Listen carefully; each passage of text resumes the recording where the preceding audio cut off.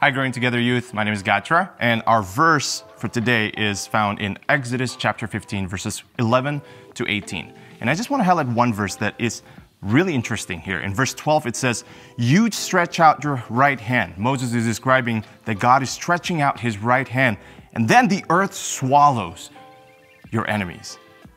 You know, one of my favorite stories in the Bible is the story of David when he volunteers to fight a giant named Goliath. And I think David's courage is inspiring to me because he knew who he was and whose he was.